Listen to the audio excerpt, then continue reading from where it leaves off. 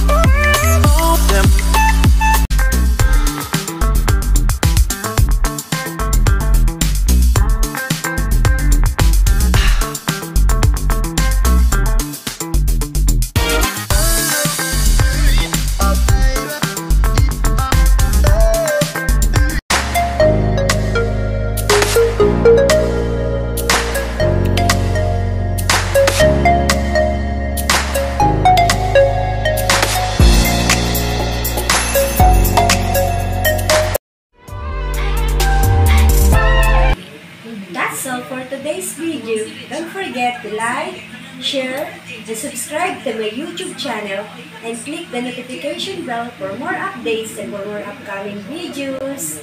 Bye!